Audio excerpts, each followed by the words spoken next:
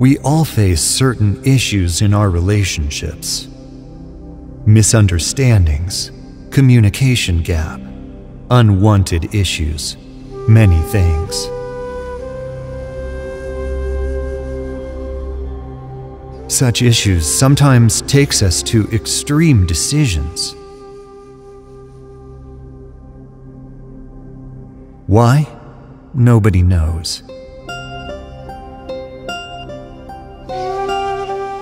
No matter how hard we try to separate ourselves, our hearts might just not be able to.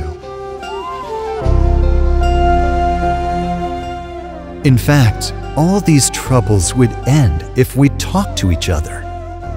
It's because there is a network that connects our hearts, a strong network, our home. All it takes for us is to be together under a single roof for some time and